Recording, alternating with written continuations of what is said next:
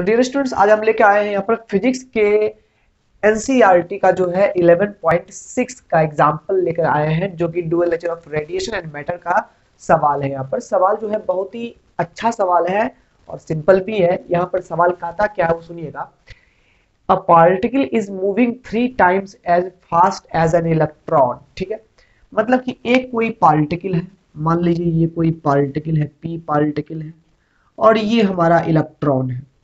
तो अगर इलेक्ट्रॉन हमारा v वेलोसिटी से मूव कर रहा है तो बोल रहा है ये पार्टिकल मूव कर रहा है थ्री वी वेलोसिटी से। इसका मतलब ये हो गया कि ये पार्टिकल इलेक्ट्रॉन की वेलोसिटी का तीन गुनी रफ्तार से ये जो है मूव कर रहा है, ठीक है? तो three times as fast as an electron जितना इलेक्ट्रॉन दौड़ रहा है, उससे तीन गुना ज़्यादा रफ्तार से एक पार्टिकल दौड़ रहा है, ठीक है?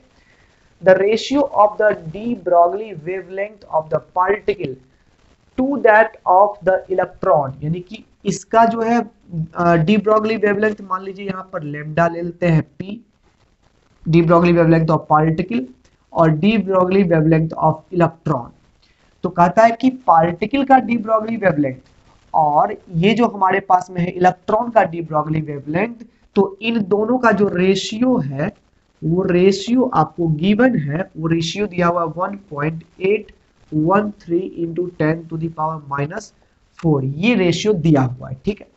अब कहता है calculate the particle's mass particle इस पार्टिकल का मास पता करो कि इसका मास क्या है, यानी कि इसी पार्टिकल का मास क्या है? और ये पार्टिकल कौन सा है, इसको भी आइडेंटिफाई करो। मास निकल जाएगा तो उस मास से अगर कोई जान पहचान का निकलेगा, रिश्तेदार तो पता कर लेंगे कि वो कौन सा रिश्तेदार है। तो यहाँ पर चलिए हम लोग सवाल देखते हैं अच्छे से।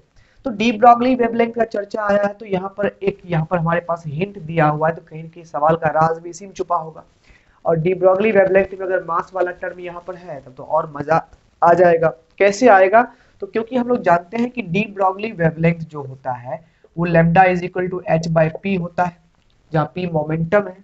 और यही लेमडा इज़ इक्वल टू क्या हो जाता है? एच बटे पी की जगह पर क्या लिख देंगे हम लोग? एम इंटू पी यानी मास इंटू वेलोसिटी कर देंगे। यहाँ तक क्लियर है? अब देखिए एक बात और है, अगर यही हमारे पास इलेक्ट्रॉन यानी कि पार्टिकल के लिए बात करें तो पार्टिकल के लिए एच तो कांस्टेंट है प्लैंक्स कांस्टेंट है। तो पार्टिकल के लिए अगर बात करें हम लोग तो यहाँ पर देखिए मास जो है, वो मास मान लीजिए यहाँ पर एम पी लिख देते हैं, यानी मास ऑफ़ दैट पार्टिकल ठीक है? और यहाँ पर v वेलोसिटी जो है हम लोग, यहाँ पर क्या करते हैं कि एज्यूम कर लिए सवाल में पहले से ही कि let the velocity of electron is v and the velocity of particle is 3v ये मान लिए है, ठीक है ना?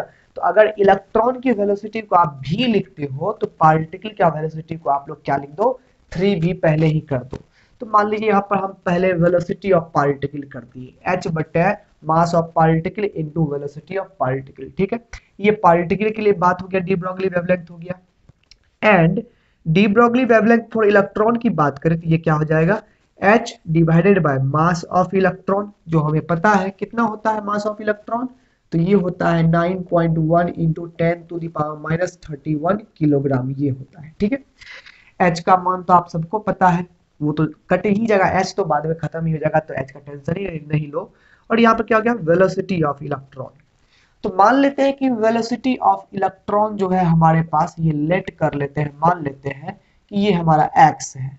तो देयर पर वेलोसिटी ऑफ़ पार्टिकल क्या हो जाएगा? सवाल से यहाँ पर पता चल रहा है कि अगर इलेक्ट्रॉन की वेलोसिटी को एक्स मानते हैं तो पार्टिकल की वेलोसिटी तीन एक्स होगी थ्री एक्स होगी, क्योंकि पार्टिकल इलेक्ट्रॉन से तीन गुने रफ्तार से दौड़ रहा है।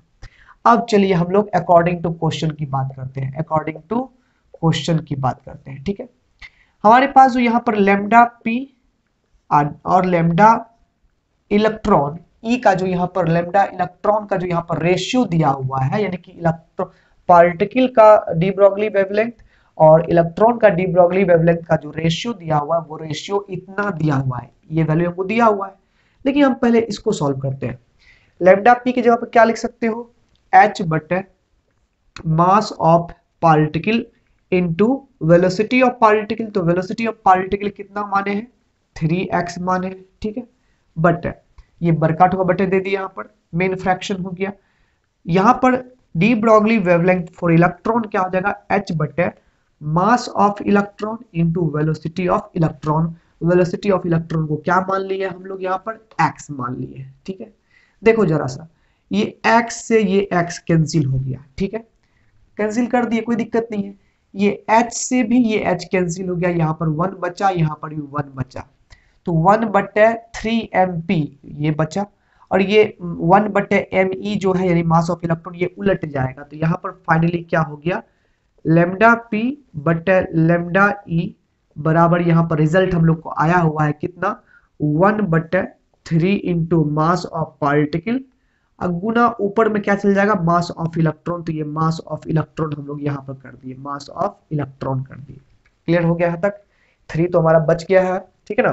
अब देखिए यहाँ पर इसी चीज़ का वैल्यू यही रेशियो का जो वैल्यू है, ये हमें दिया हुआ है गिवन है 1.813 into ten to the power minus four दिया हुआ है। प्यारे बच्चों, यही से सवाल सॉल्व होगा, क्योंकि इलेक्ट्रॉन का तो मास पता है हम लोगों को। तो यहाँ पर क्या करना है हम लोगों को? इस मास ऑफ़ पार्टिकल को उस साइड लेके जाना है और इसको इधर लेके आना है। तो मास ऑफ़ पार्टिकल तो फ्री हो गया।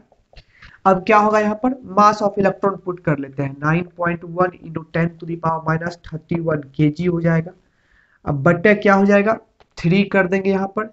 इंटू ये मास ऑफ़ पार्टिकल तो वहाँ भेज दिए बाहर भेज दिए ये चीज़ नीचे उतर के आएगा। तो ये हो गया 1.813 point eight one three into ten to the power minus four हो गया यहाँ पर। ठीक है ना? ये इतना हमारे पास हो गया। ठीक है? इसको हटा देते हैं। ये बाद में के में ही आएगा। तो के में जब इसको रिज़ल्ट हम लोग लाएँगे, जब यहाँ पर रिज़ल्ट लाएँगे तो पहले उसको डिवाइड कर देंगे हम लोग 9.1 या फिर डायरेक्ट हम लोग मल्टीप्लाई करके भी डिवाइड कर सकते हैं। करना क्या है यहाँ पर? तो यहाँ पर जो है सिंपल सी बात है, इसको डिवाइड करना है ऐसे नाइन पॉइंट वन बट इसको मल्टीप्लाई कर दीजिए तो कितना हो जाएगा यहाँ पर? थ्री थ्री जा नाइन थ्री वन जा थ्री एट थ्री जा ट्वेंटी फोर और थ्री एंड टू कितना हो जाएगा? फाइव हो जाएगा। तीन डेसिमल के बाद, यहाँ पर तीन अंक के बाद डेसिमल डाल दिए। Into ten to the power देखोगे माइनस थर्टी वन प्लस चार हो जाएगा तो माइनस ट्वेंटी सेवन हो जाएगा। ये के जी हो गया। देख लो यहाँ पर ये ऊपर में नौ के लगभग में है, नीचे में पाँच के लगभग में तो वन पॉइंट समथिंग रिज़ल्ट आएगा। तो ये लगभग रिज़ल्ट आता है one point six seven five into ten to the power कितना हो गया? माइनस 27 केजी हो गया, ये निकल गया मास ऑफ़ पार्टिकल जिस पार्टिकल की चर्चा हो रही थी, उस पार्टिकल का मास निकल के आ गया। सवाल में भी यही कहा था calculate the particle's mass particle के मास को पता करो, पता लगा लिया हमने।